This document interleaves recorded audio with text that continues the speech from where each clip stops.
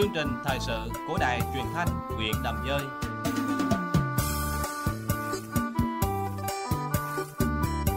Chương trình thời sự của Đài Truyền thanh huyện Đầm Dơi.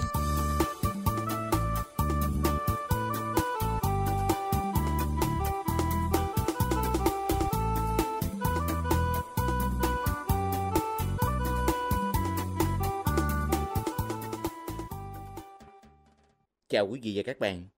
Mời quý vị và các bạn theo dõi chương trình thời sự của đài truyền thanh Đàm Dơi phát trên sóng FM tần số 90,8 MHz. Chương trình hôm nay gồm có những nội dung chính sau đây. Bài viết Thẻ bảo hiểm y tế, món quà ý nghĩa đầu năm học mới. Tiếp đó là bài Nâng cao ý thức phòng chống cháy chợ.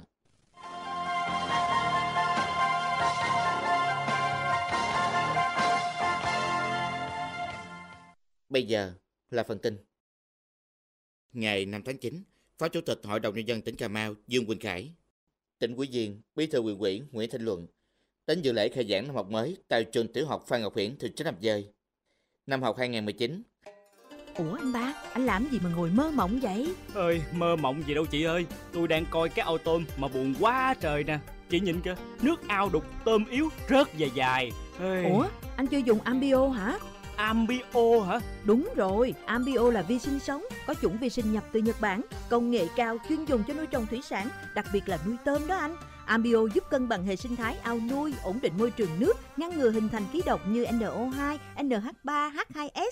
Vi sinh sống Ambio giúp tôm siêu hấp thụ dinh dưỡng, lớn nhanh mà lại tăng sức đề kháng nữa, khỏi lo dịch bệnh luôn. thiệt vậy hả chị Ừ. mà ambio đó có an toàn không Trời, Ambio đã vào top 100 nhãn hiệu nổi tiếng, nhãn hiệu cạnh tranh Việt Nam, là doanh nghiệp tiên phong ứng dụng công nghệ vi sinh trong nuôi trồng thủy sản đó anh. Có Ambio, tôm khỏe, ăn nhiều, an toàn, tốt cho sức khỏe, đảm bảo cuối vụ bội thu luôn. Ambio hiện đang bán rộng rãi trên cả nước đó anh. Anh cứ tới đại lý gần nhà mình nhất là có hàng luôn. wow nếu vậy thì phải đi mua về dùng ngay mới được Ambio, vi sinh thiết yếu cho người nuôi tôm. người nuôi tôm Radio AD, thông điệp từ âm thanh.